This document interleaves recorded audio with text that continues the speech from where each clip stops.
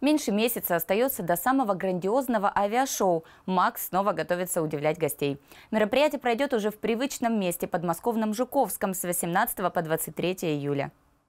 С последнего проведения шоу в авиасалоне «Макс» прошло два года. Это событие стало одним из ярчайших эпизодов того лета. Оно собрало 404 тысячи участников и гостей. В этом году на «Максе» 2017 людей ожидается не меньше. На самой крупной авиавыставке в России гости впервые увидят групповой пилотаж русских «Витязей» на истребителях пятого поколения. Некоторые полетные программы будут выполнены совместно пилотажными группами «Русские Витязи» и «Стрижи». Кроме этого, уникальную полетную программу подготовит пилотажная группа «Соколы России». Также гостей шоу ожидает традиционно яркая летная программа. Помимо этого, на статической наземной стоянке посетители авиасалона увидят истребители, бомбардировщики, боевые и транспортные вертолеты. С 18 по 20 июля планируются дни официальных и бизнес-мероприятий. С 21 по 23 – дни массовых посещений. Стоимость билетов от 400 рублей до 2500. Мария Лапочева, телеканал ЛРТ.